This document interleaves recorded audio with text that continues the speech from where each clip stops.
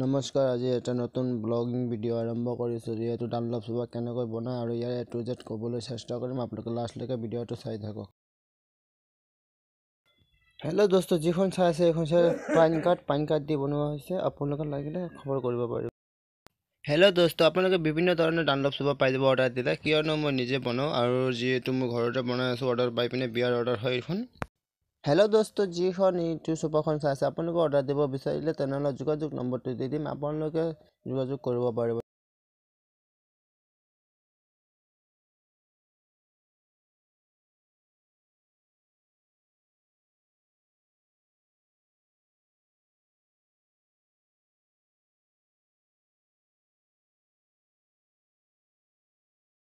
Hello দোস্ত যিখন sofa চাই আছে ডানলপ চোফা ময়ূৰী হেণ্ডেল হয় এইখন চোফা আমাৰ অৰ্ডাৰ দিয়া হৈছে বিয়াৰ কাৰণে অৰ্ডাৰ দিছে মোৰ তাত।